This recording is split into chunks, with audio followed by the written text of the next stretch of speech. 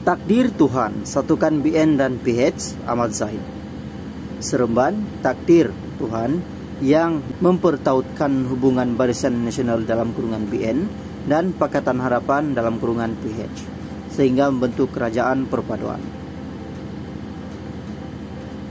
Pengurusi BN Datuk Seri Ahmad Zaid Hamidi berkata beliau sendiri tidak pernah terfikir ia boleh berlaku. Sembilan bulan yang lalu, pernah tak kita terfikir orang PKR dalam kurungan Parti Keadilan Rakyat dengan kita. Dia kutuk kita, kita kutuk dia. Itu sebab kita kalah. Tapi Tuhan telah takdirkan kita lihat bagaimana saudara kita dari PKR Amanah dalam kurungan Parti Amanah Negara dan DAP yang sanggup melupakan garis-garis pemisah lalu demi kepentingan rakyat dan kerajaan perpaduan.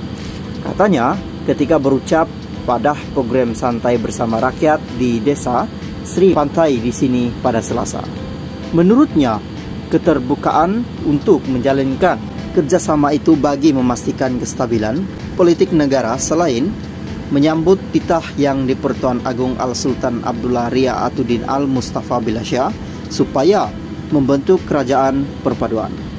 Bagaimanapun, katanya pengurusi Perikatan Nasional, dalam kurungan PN Tan Sri Muhyiddin Yasin memaklumkan kepada Sri Paduka Baginda yang kedip yang pihaknya tidak mahu bekerja sama.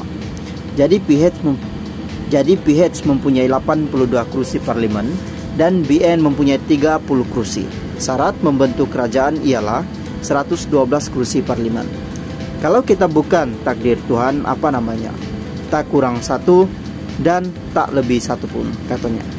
Dalam pada itu, beliau berkata, terima kasih kepada Presiden Amanah, Datu Sri Muhammad Sabu yang bersedia menyerahkan kursi Dewan Undangan Negeri dalam kurungan DUN